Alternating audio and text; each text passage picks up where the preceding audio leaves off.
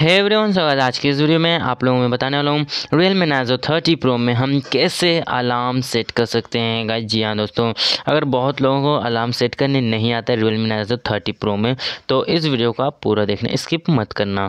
तो चलिए guys video start करते हैं।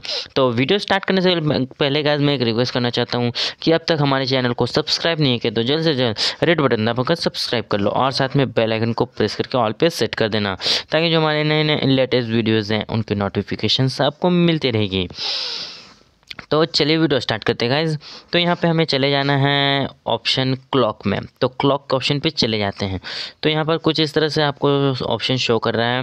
Clock stop watch timer and alarm तो यहाँ पे हम अलार्म का ऑप्शन पे क्लिक करते हैं, उसके बाद यहाँ पर हमें इसमें चले जाते हैं। उसके बाद हमें यहाँ पर अलार्म सेट कर देना तो मेरा अलार्म है सुबह तीन बजकर उनसठ मिनट में उठ जाने का, यानी कि चार बजे, क्योंकि मैं सुबह सुबह उठता हूँ, फ़ायदा करता तो मेरा ये अलार्म सेट किया हुआ डेली का, मैं हमेशा ऑन करके सो जाता हूँ। तो इस तरह से आप अपना हिसाब से यहाँ टाइम ये ये घंटा है मतलब कि आवर है एंड ये मिनट है।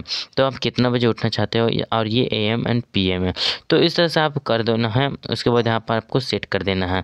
तो यहाँ पर आपको एक ऑप्शन दिख रहेगा सेफ़ का ऑप्शन तो यहाँ सेफ़ का ऑप्शन पे क्लिक कर देना है और ये ऑन हो जाएगा। तो इस तरह से आप किसी भी अपने, किसी भी टाइम में अगर आपको अलार्म लगाना है अलार्म सेट करना है तो आपको अगर नहीं आता है तो मैंने आज की वीडियो में बता दिया।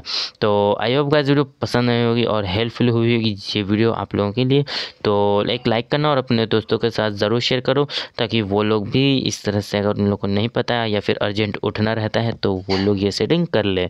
तो मिलता है नेक्स्ट वीडियो नेक्स्ट टॉपिक के साथ। तब तक ले टेक केयर